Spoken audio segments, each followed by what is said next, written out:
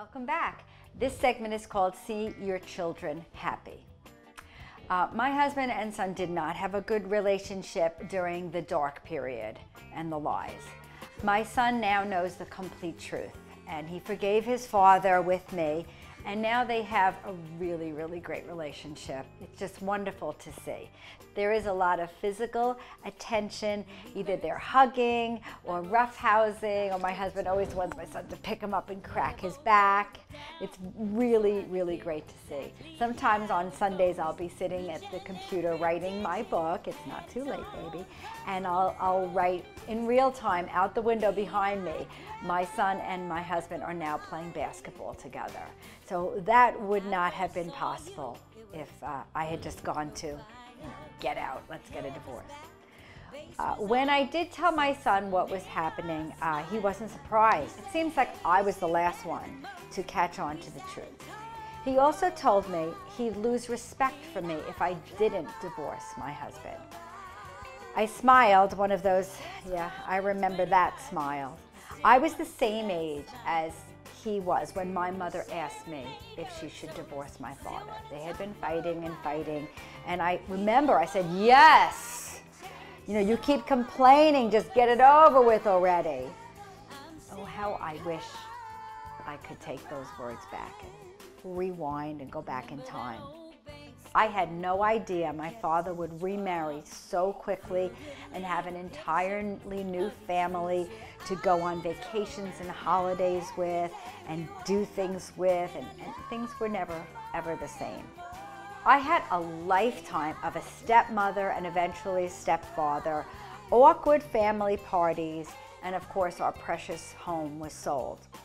I had to listen to my mother and her grievances about my father for the rest of my life. It got a little bit better when she remarried, but soon started having grievances about the new husband. I did not want to become that way. I wanted to do better. I wanted to do better than my mother. I wanted to be stronger for my son. I wanted to do anything possible to fix the problems. I didn't even know at that time that I was a rescuer. First of all, my husband had gotten himself tangled up with someone I can only assume was very controlling, and uh, she wasn't so willing to let him go. It, it reminds me of um, when a child is sexually abused. The abuser kind of has you by the back of the neck. You know, they have you in their clutches, and you're just this innocent child. Um, you know, you grow up never resolving this trauma. And then uh, when trauma hits on top of trauma, uh, like his sister dying, I think he got himself a new captor.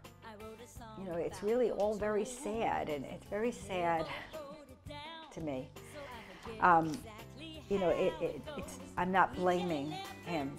I'm just trying to be compassionate and understand how it can happen. He led me to believe at one time, I think when I caught him the second time, he led me to believe that it was a deep emotional connection, and I, like a fool, believed him. The truth was, he was in way too deep, and all I could see for his future was bankruptcy, foreclosure, and suicide. That was not an option for my son's father either.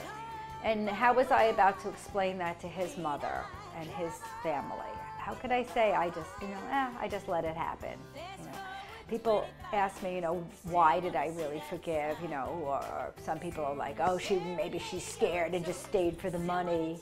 You know, but that's not it. This is it. This is seeing on paper someone destroying themselves. That's why I didn't leave him. That's why I said to him, we're going to fix this. I called him up. He was, he was overseas. I said, we're going to fix this. I said, no one's ever had your back before. No one protected you as a child. No one protected your sister as a child or your brother as a child. I said, I'm, I'm, I have your back. We're going to work on this together. And I remember what he said. He goes, I appreciate that. You know, but that was it. That was the third chance. And uh, when he came home, that's when everything settled. And from, from then on, it was all really different. You know the expression, it takes a village? Well, I felt like it took an entire village. My son saw me do at least 10 things simultaneously to heal and be able to forgive. I didn't know at the time I would be able to do this, and uh, there are times even now when I still feel extremely hurt and angry.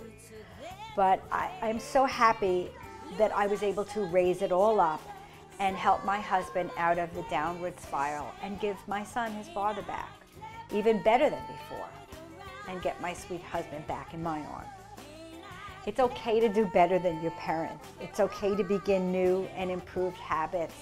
Our children can imitate. You know, give them something new that they can imitate, something positive and pass on to their generations. You know, I just feel like people have to start talking about this more. There has to be more of a conversation.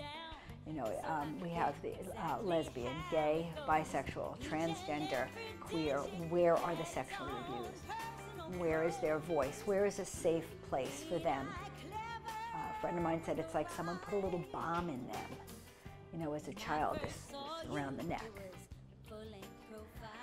I want you to know that you are strong enough to give it a try at least. I know it takes two to tangle, but you can do it. You can try for you, even for your children. If you don't think you can, try try it for your children. It's it's not just putting a band-aid on. It, it could mean taking out the big shovel and digging and digging to the bottom, to the crux of the problem, trying every angle.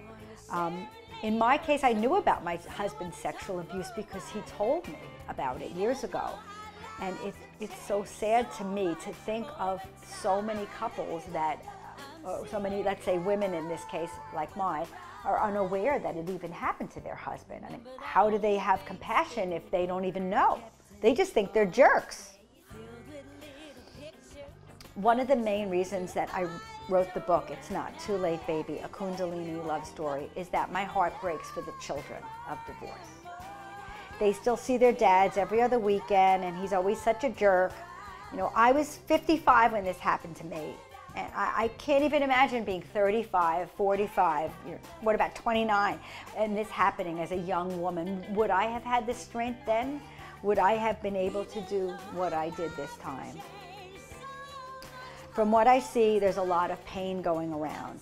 And we can raise it all up. You're stronger than you think, and it's worth a try.